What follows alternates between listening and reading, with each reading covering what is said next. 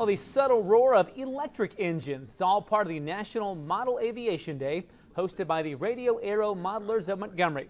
The group has all kinds of model aircraft and held a hands-on flying demonstration for anyone who wanted to give it a try. The event was held at the club's own flying field off of Highway 331. It was free to the public.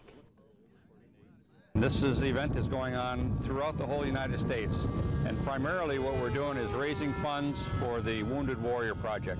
We're introducing flying and model aviation to the general public and letting them take a hand at flying and having a good time. And the Wounded Warrior Project benefits wounded and disabled veterans. The proceeds from the event went to the Wounded Warrior Project.